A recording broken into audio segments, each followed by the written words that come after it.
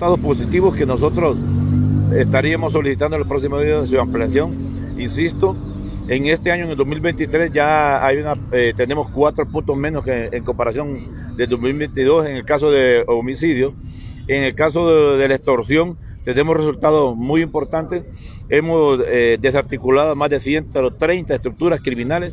Se han incautado cualquier cantidad de, de armas, se hizo una erradicación histórica de 120 manzanas de cultivo de coca que representaban más de 3 millones de arbustos y de plántulas. Los resultados están ahí y la Policía Nacional ha aprovechado de manera positiva y en el respeto a la ley y, en, a los derechos humanos.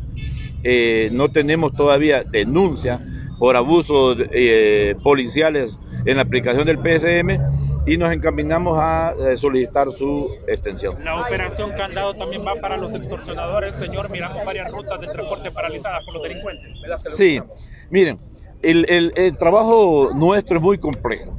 Si una ruta eh, se siente amenazada y decide eh, parar sus actividades en ese día, obviamente influye mucho en la cuestión de percepción de la sociedad y también obviamente les afecta mucho eh, eh, este tipo de delito de extorsión que se basa sobre todo en la implantación del terror. Nosotros con Dispanco trabajamos fuertemente, todos los días se capturan a, miembros de las dos estructuras criminales, la 18 y la 13, y de estructuras independientes. Debemos de redoblar, esfuerzos, trabajar fuertemente, sostener nuestra operatividad para obtener mejores resultados. A nivel nacional, operación, operación Candado.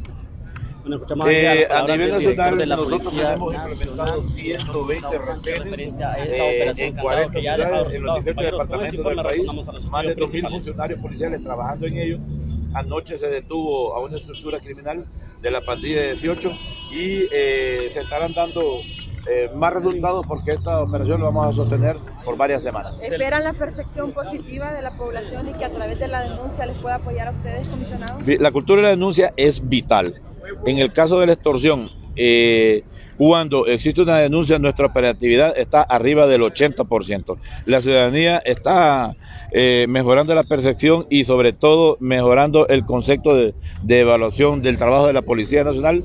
Tenemos mucho por hacer, eh, podemos decir mucho, pero lo más importante son nuestras actuaciones, que debemos de enmarcarla precisamente entre el marco del estamento jurídico nacional y esto es un trabajo difícil, es un trabajo arduo y debe ser un trabajo sostenido. ¿Van con todo con esta operación candado a nivel nacional?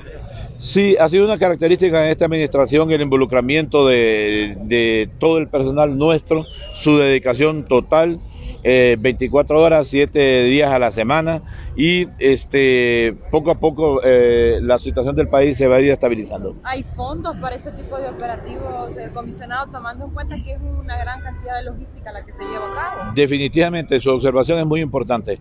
Eh, desplazamos a un número muy importante de funcionarios policiales en este tipo de operaciones extraordinarias. Nosotros eh, estamos recibiendo todo el apoyo de nuestra presidenta, eh, hay presupuesto para ello, estamos totalmente equipados, totalmente capacitados y a nosotros como funcionarios policiales solamente nos queda responder a todo ese apoyo. ¿Cómo avanza lo de la tolva, el armamento que se encontró en las últimas horas en los alrededores? Bueno, eh, ese es parte del producto de las ah, operaciones que la Policía Nacional, en su rol de intervención en los diferentes centros penales, está realizando. Eh, no es el único decomiso, hemos hecho diferentes decomisos a través de, ya los 15 meses, 15 meses perdón, que ha durado la intervención. Eh, eh, hay muchas investigaciones en proceso. Creo que a través de las de que va pasando el tiempo, en las próximas semanas se va a ir mejorando el proceso de gobernabilidad en las cárceles. ¿Esta operación Candado solo es acá o se va a extender o es a nivel nacional? 18 eh, departamentos, 40 ciudades del país y más de 2.000 funcionarios involucrados en la misma.